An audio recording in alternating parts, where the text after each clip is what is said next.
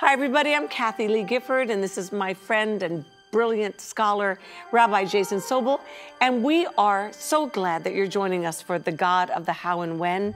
In this study, we're going to talk a lot about how to keep the faith in God's timing, which is so different from our own, by looking at five very important characters in the Bible.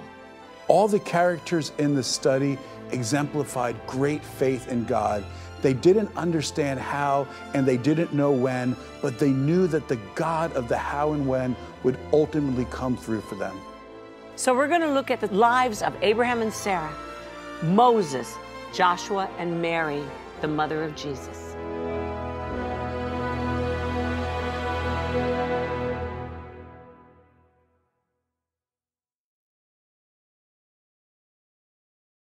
Música